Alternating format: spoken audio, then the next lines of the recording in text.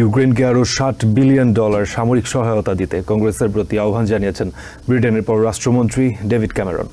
মঙ্গলবার ওয়াশিংটন ডিসিতে state secretary Antony ব্লিনকেনের সাথে বৈঠক শেষে যৌথ সংবাদ সম্মেলনে ক্যামেরন বলেন, ইসরায়েলকে অস্ত্র দেওয়ার ক্ষেত্রে ব্রিটেনের নীতি অপরিবর্তিত থাকবে। এদিকে মিত্ররা রাশিয়াকে যেসব অস্ত্র সহায়তা পাঠাচ্ছে তা বন্ধ করা এই মুহূর্তে সবচেয়ে বড় চ্যালেঞ্জ বলে মনে করেন state secretary Antony Blinken. We talked about ways to strengthen efforts to prevent the transfer and weapons of material. ইউক্রেনের বিরুদ্ধে অবস্থান জোরদার করতে নর্থ কোরিয়া ইরান ও চায়না রাশিয়াকে যে অস্ত্র সহায়তা পাঠাচ্ছে সেটি বন্ধ করা আমেরিকা ও ব্রিটেনের জন্য এই মুহূর্তে সবচেয়ে বড় চ্যালেঞ্জ বলে মনে করেন state secretary Antony Blinken North Korea, from Iran, from China. This is an area of particular concern for ইউক্রেনে সহায়তা অব্যাহত রাখতে প্রেসিডেন্ট বাইডেনের অনুরোধে সম্পূরক বাজেট প্রস্তাবটি দ্রুত কংগ্রেসে উত্থাপন ও ভোটাভুটির আহ্বান জানান স্টেট সেক্রেটারি.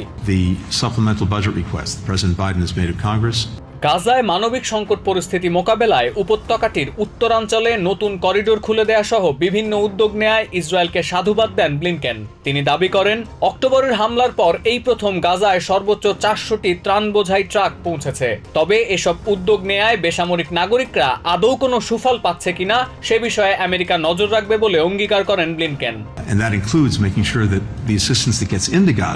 এদিকে সামরিক সহায়তা প্যাকেজের আওতায় ইউক্রেনকে ষাট বিলিয়ন ডলার বরাদ্দ দিতে কংগ্রেসের প্রতি আহ্বান জানান ব্রিটেনের পররাষ্ট্রমন্ত্রী ডেভিড ক্যামেরন। তিনি পরিষ্কার ভাষায় বলেন কোনো দলের পক্ষ নেয়া কিংবা কূটনৈতিক বিষয়ে জ্ঞান দেয়া তার উদ্দেশ্য নয়। তিনি মনে করেন দেশের অভ্যন্তরীণ নিরাপত্তা ও ভবিষ্যতের প্রশ্নে আইন প্রণেতাদের বিষয়টি গুরুত্ব দিয়ে বিবেচনা করা উচিত।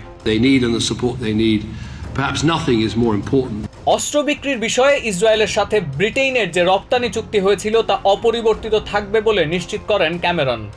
The latest assessment leaves our position on export licenses unchanged. তবে গাজার মানবিক সংকটের বিষয়টি ব্রিটেন হালকাভাবে দেখছে না উল্লেখ করে উপত্যকাটিতে প্রতিদিন পাঁচশো ত্রাণবাহী ট্রাক পৌঁছানো ও পানি সরবরাহ ব্যবস্থা সচলের দাবি জানান তিনি We want to see 500 trucks a day. We want to see the water switch back on. Cameron আরও বলেন রুশ আগ্রাসনের কবল থেকে ইউক্রেনকে রক্ষায় সামরিক জোট নেইটো কীভাবে ভূমিকা রাখতে পারে সেদিকেও নজর রাখা হচ্ছে And we'll also be looking at this mission Satirtha Karmakar TBN twenty four news desk New York থেকে সম্প্রচারিত টিভিএন টোয়েন্টি ফোর টেলিভিশন, বিশ্বজুড়ে বাঙালির কণ্ঠস্বর।